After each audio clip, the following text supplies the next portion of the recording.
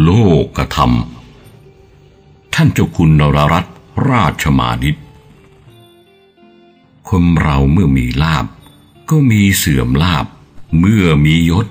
ก็มีเสื่อมยศ เมื่อมีสุข ก็มีทุกข์ เมื่อมีสรรเสริญ ก็มีนินทา เป็นของคู่กันมาที่นี้ จะไปถืออะไรกับปากมนุษย์ ถึงจะดีแสนดี มันก็ติ ถึงจะชั่วแสนชั่ว มันก็ชมนับประษาอะไร พระพุทธเจ้าผู้ประเสริฐ เลิศยิ่งกว่ามนุษย์และเทวดา ยังมีมารผจญยังมีคนนินทาติเตียน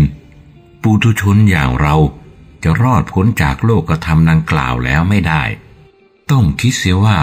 เขาจะติก็ช่าง ชมก็ช่าง เราไม่ได้ทำอะไรให้เขาเดือดเนื้อร้อนใจ ก่อนที่เราจะทำอะไร เราคิดแล้วว่า ไม่เดือดร้อนแก่ตัวเราและคนอื่น เขาจะนินทาว่าใส่ร้ายอย่างไร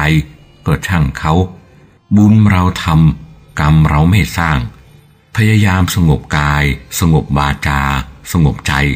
จะต้องไปข้างบนกลัวใครติเตียนทำไม